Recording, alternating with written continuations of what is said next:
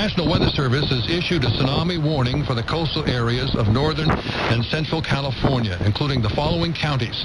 Sonoma, Marin, Napa, San Francisco, San Mateo, Contra Costa, Alameda, and Santa Clara. This is a result of an 8.9 earthquake near Honshu, Japan that struck at 2.46 local time in the afternoon in Japan. If a tsunami wave is generated, it is expected to arrive in San Francisco at the mouth of San Francisco Bay at 8.08 a.m. this morning. The tsunami warning means a tsunami is imminent and that coastal locations in the warned area should prepare for flooding.